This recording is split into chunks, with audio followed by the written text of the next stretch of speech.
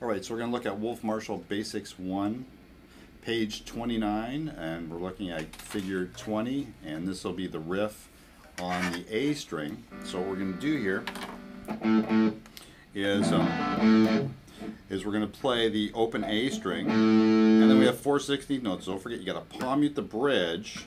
You just like have the, the, side of your hand on the bridge, karate chop the bridge, and then bring it over. Now don't go too far forward, you'll be over muting. Too far back, you'll be under muting. There. So you just go karate chop the bridge, bring it over. So this will start with open string, and I want you to do down, up, pick in the 16ths, down, up, down, up. Then the second fret, third fret, on the A string, open D, open second fret, open A.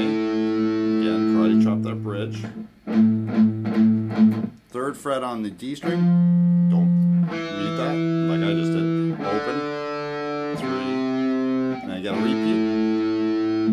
Mute, down, up, down, up, two, three, zero, two, open.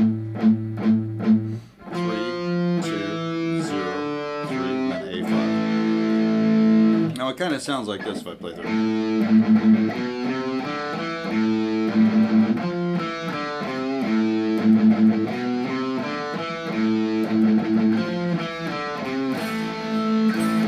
Okay, now the next one, which is on the next page, on page uh, 30, is uh, just moving down string. So this will be on, uh, this is figure 22. Just all we're doing is taking that string, all we did on the A string, or moving the whole set down, so it'll sound like this.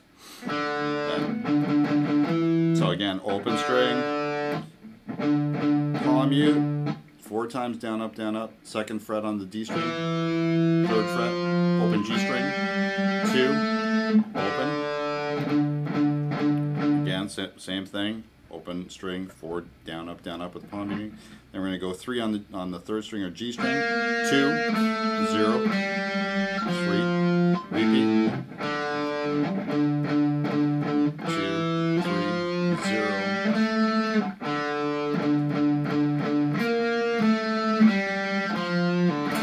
D five. So it sounds like this.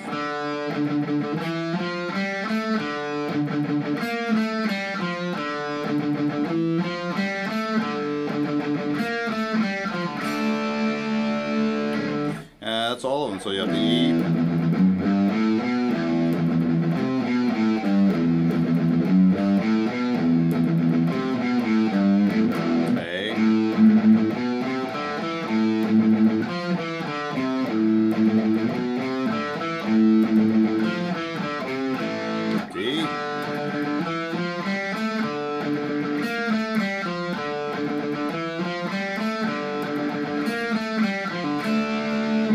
that'll be it.